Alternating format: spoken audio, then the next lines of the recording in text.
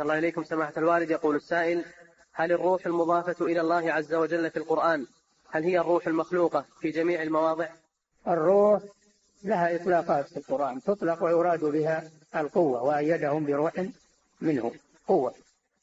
تطلق الروح ويراد بها الوحي والقرآن يراد بها ولكن آه،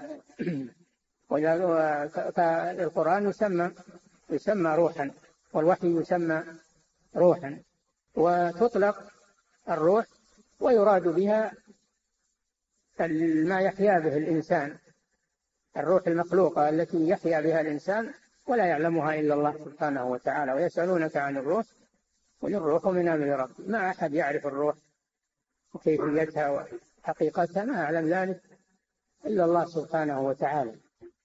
ويطلق الروح ويراد به جبريل عليه السلام الروح الأمين الروح لها إطلاقات في القرآن.